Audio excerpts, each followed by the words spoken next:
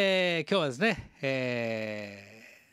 ー、10月17日ね、え、46回目のライブ配信となります。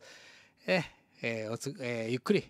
おくずきください。それではあオープニングムービーをどうぞ。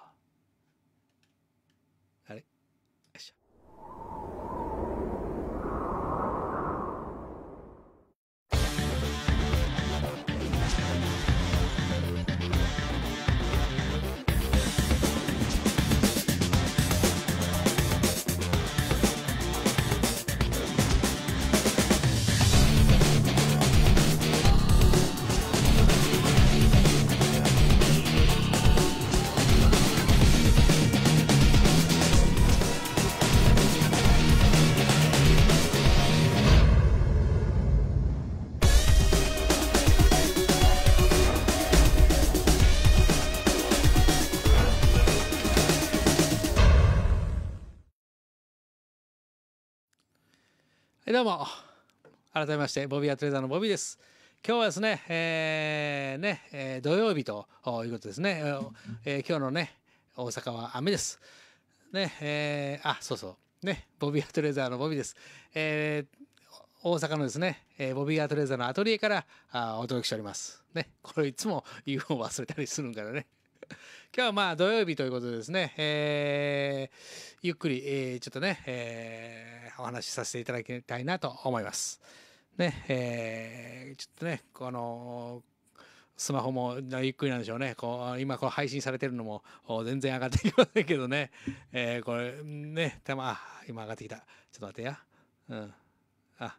ね。はい、こんな感じでね。はい、えー、ね、これで、えー、まあ、見ながらもできますからね。えー、今日はですね、土曜日ということですね。えー、雨の大阪ですね。やっぱこう、こういう雨の日がこう続いたりとか、先週もそうなんですけどもね、続いたら、あのー、やっぱりこうブログとかね、えー、こういう動画とかでもですね、えー、雨の日のですね、レザーの対処法というか、あね、濡れた時にどどうしたらええかないうのをね、いう動画とかブログ記事をですね、えー、読んでいただいている方があ全国にね 多いみたいでですね少しでもね、えー、なんか お役に立てれば幸いです。でですね、えー、今日はですね、こう革ジャンなしにこうね、ボビーアトレザーのこうオリジナルのね、えー、パーカーでですね、えー、ゆっくりこうラフな感じでですね、えー、画像もこんな感じで、えー、こんな感じですね、えー、普段はですね、えー、レザーワークをね、えー、させていただいてますね。はい。えー、ハンドステッチでですね、はあのミシンを使わない、えー、感じでですね、えー、ハンドメイドですよ。ね、えー、手仕事をね、えー、させていただいてますね。それで作品をね、えーえー、紡いでおります。で、こんな感じでね。ちょっと写真を見れたんで。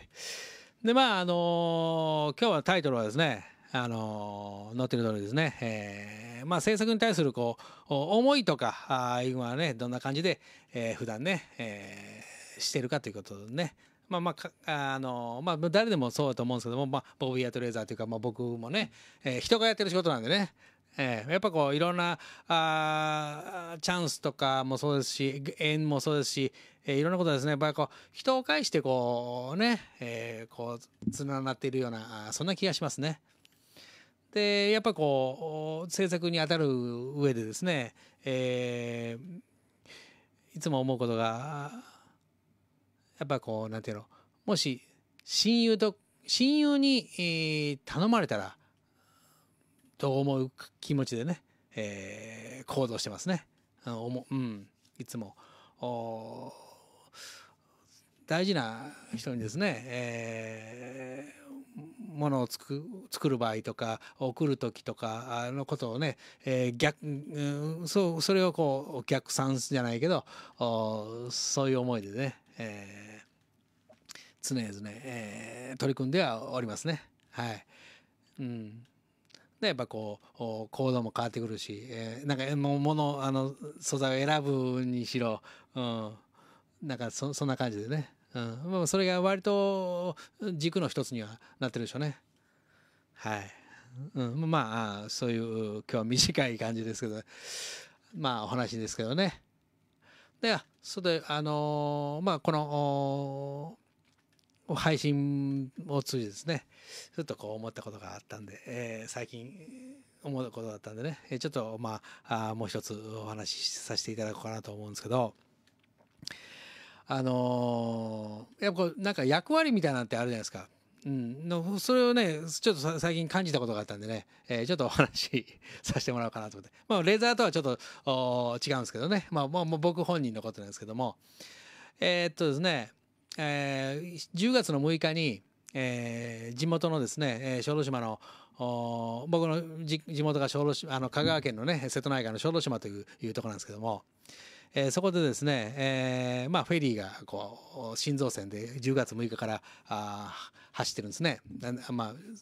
高松まで高松小豆島間ですよ。でまああのー、そこ そこにですね、えー、僕がですね当時、えー、自分の祖母のためにですね吹き込んだあ曲があってですねそれをがかか実はかかってるんですよね。あの船が発着する時とかねこう到着する時とかに、えー、まあなあの到着のアナウンスがかかった時にえその BGM としてあの僕があのあの自宅録音で弾き語りしたね「えー、二十四の瞳」という曲がですね、えー、かかってるんですけども。でまあ今あれからまあ10日ぐらい経って、まあ、僕は実際にあの聞いてはないんですけどフェリー乗ってませんからねあのここにいますからね。であのちらほらね連絡が 噂の人になってるみたいでね。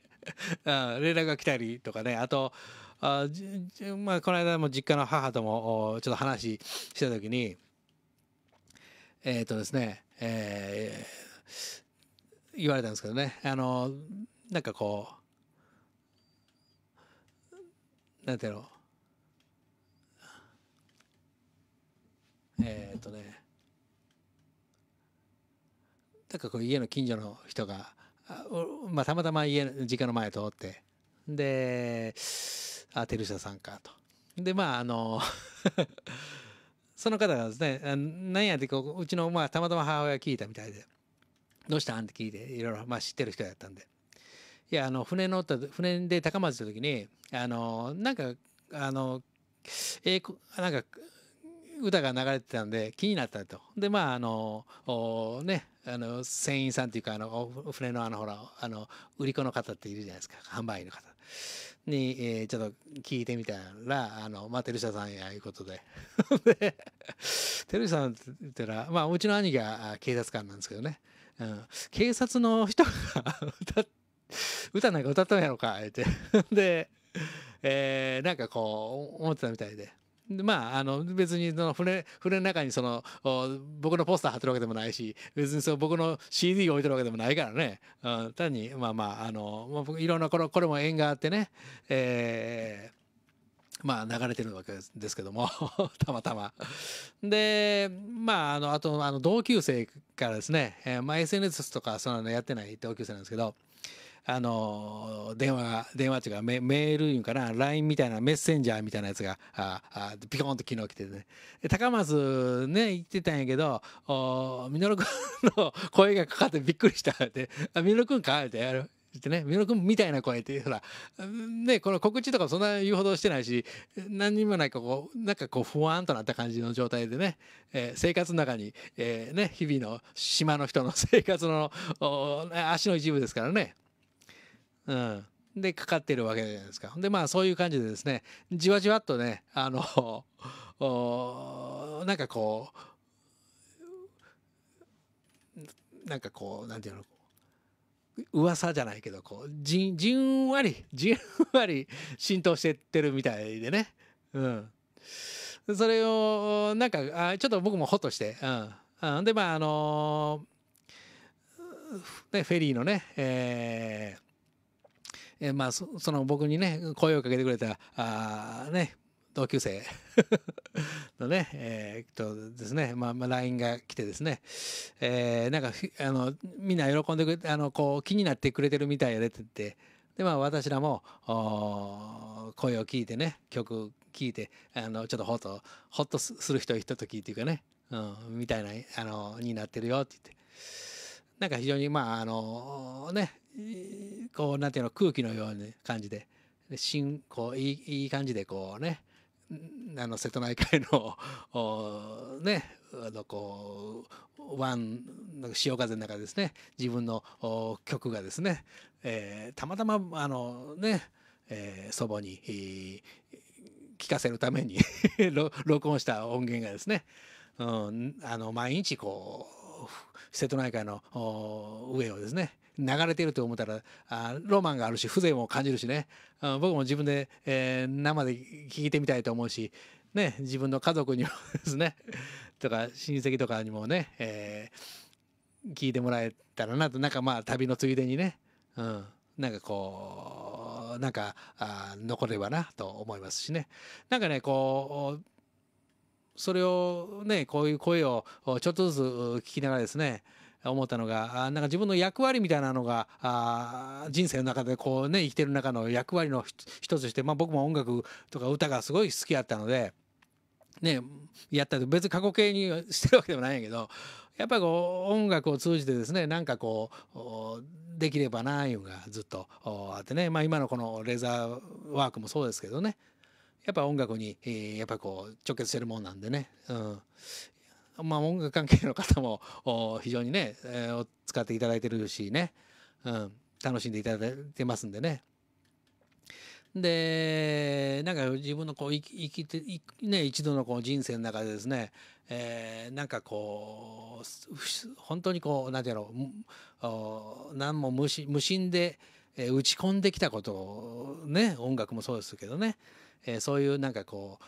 う素直な気持ちでですね、えー、やってたことがですね、えー、誰かのこう声でね、えー、なんかこうそういう縁をいただいてね、えー、フェリーで自分の歌が流れてると。ね。でまあそれを聞いて、えー、僕のことを思い出してくれたりとか、えー、気にかけてくれたりとかね、うん、なんかそういうふうな感じで、えー、ゆっくりこう広がるというかなんかそういうふうなことをなんかなんかいつかなんかやりたいなと。できたらなと思ってたんでね、うん。まあ、まあ島を離れて35年ぐらいですよ。でなんかこう自分なりに、えー、ねふるさとにふるさとをですねあのではこう自分のやりたいことができへんからと思って当時ねなんとか島から出たいと思思いった自分がですね、えー、50過ぎてですね。なんかこういろんなことがあって。でまああのこうそこでですね、えー、自分のあのなんていうの本当に好きで打ち込んできたあのね、えー、音楽がですね、えー、誰かの気持ちにそっとこう寄り添っているような、うん、きなんかなってるわけじゃないですかこう。それがなんかこう非常に、うん、幸せやなと思いますね。うん、なんかこう噂でねなってくれるは嬉しいし、えー、ねあの僕も実際生で ブルーラインにね乗って、えー、うちの三湾の景色をですね眺めながらですね特にまあ多分夕暮れが一番いいでしょうね。うん、あのうちの三湾に沈む夕焼けはですね夕焼けは最高なんですよ。うん、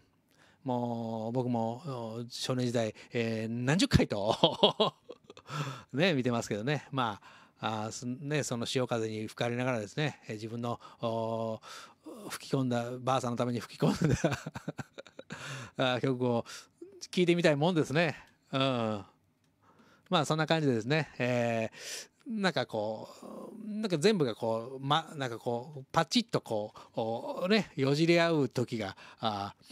なんか重なり合う時っていうのは来るんやろなと思いますね。はい。まあ、まあそんな感じでですね、えー、今日は、あちょうどね、えーまあ、お仕事に対するですね、まあ、制作に対するこう思いとかねやっぱこうね親友に作るとしたらあねどういうふうな思いをどういう思いで、えー、行動するかとかさ、うんまあ、そういう感じで、えー、やってますよという僕は取り込んでいるというまあ、パーソナルな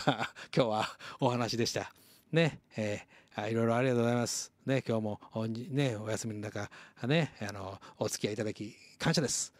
ね、あ、坂部さんいつもありがとうございます。ね、今日もね、コメント残してくれてありがとうございます。ね、まあこんな感じですね、えー、今日はね、大阪のはね、雨ですけどもね、雨の一日をですね、えー、まあこの僕はアトリエでですね、えー、過ごしていきたいと思います。それではあ今日もね素敵な土曜日をお過ごしください。ねボビーでした。じゃあねバイ。